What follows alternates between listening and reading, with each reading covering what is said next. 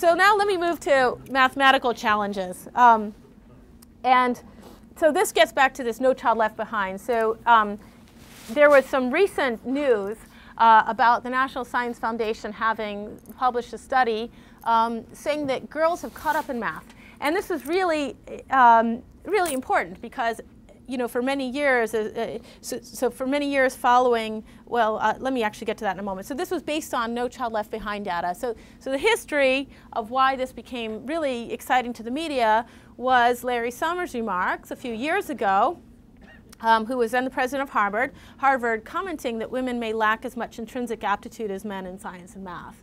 Um, and as a female mathematician, I didn't take it personally.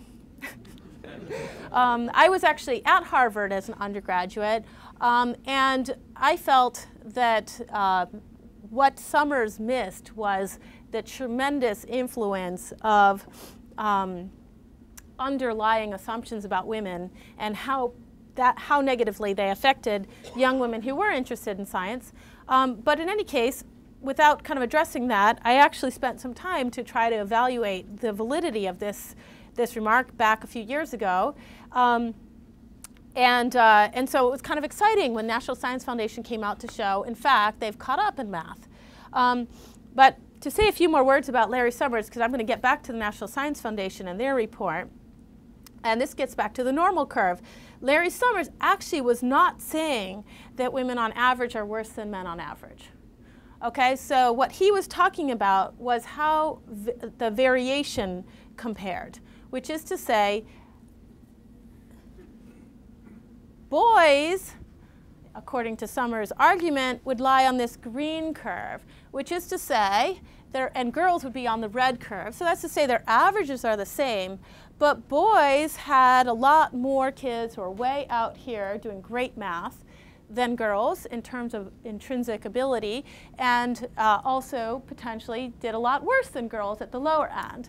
Um, but what uh, Summers' argument was, if you actually looked at it, which was not at all the way it was presented in the press. The way it was presented in the press was that uh, boys were somehow just better than girls. And what I think most people would get from that is that on average they're better. But what he was in fact saying was that Harvard was interested in making hires out here, a few standard deviations from the mean, and uh, because in fact he was talking, even worse, he was talking to a group of women engineers about the question of why Harvard didn't have any have had so few faculty who were female in the sciences. So again, uh, there weren't very many women to choose out far away from the mean. That was Summers' argument. Um, so again, moving back to here, oh sorry, I wanted to, uh, so moving back here, now we can see why it is that the recent news that girls have caught up um, really didn't take any, um, anything away from Summers' argument. I mean, it was kind of presented again in the press that, boy, now we showed Summers, in fact, girls have caught up. Um, but let me even say a little bit more about that.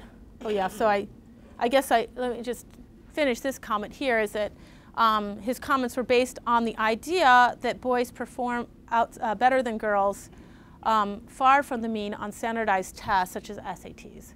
So again, we're using SATs as a proxy for uh, the ability to do great science, which is a fairly poor proxy. And then we're making a comment about the variation, not about the averages. So let me just say about the response of, uh, to that. Um, academics were outraged, and uh, many of the people, um, especially women, but not only women, who are at Harvard and MIT nearby, um, were, were, were uh, uh, felt, as I did, that Summers spoke from a history of sexism.